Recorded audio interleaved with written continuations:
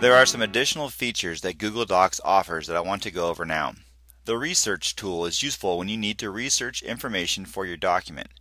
You can search for any topic of interest and find web results, images, videos, quotes, citations, people, places, and definitions. When you have found information you are looking for, you can easily insert it into your document and also make reference to it.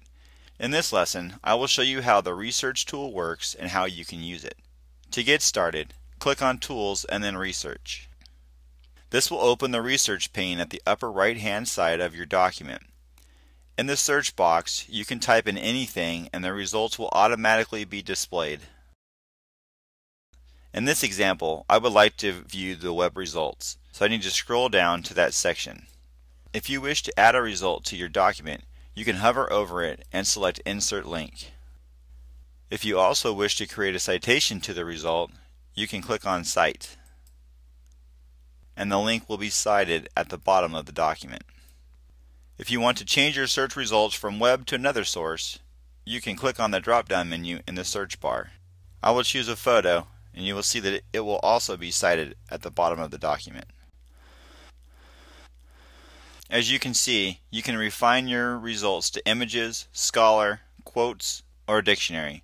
When citing the results, you can also choose the citation format by clicking on the MLA, APA, or Chicago style. I'm going to add some text for our next feature. Checking the word count. To check the word count of the current document, click on Tools and then Word Count. Here you can see the number of pages, words, and characters in the document. If you make a selection of text before using the word count option, you will also see figures for that text section as well. Docs makes translating documents into other languages easy. In this section, I will show you how to translate a document. To translate the current document, first click on Tools and then Translate Document. This option will create a new copy of your document translated into the languages of choice. The Translate Document box will pop up and you can choose the title for the new document and choose the language you wish to translate the document. Since my document is in Latin, I will try to translate to English. When you have finished choosing the title and the language, you can click on Translate. This will open the new translated document in a new tab. Be careful when using Google Translation. If you do not speak the language, you may not know if it had translated correctly.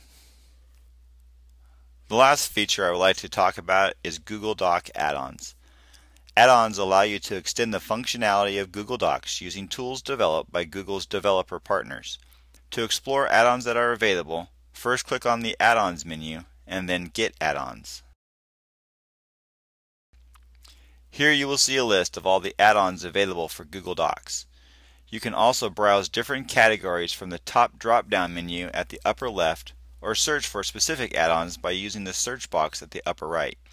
You can click on one of the options to explore screenshots, reviews, and understand exactly how the add-on will extend the functionality of Google Docs.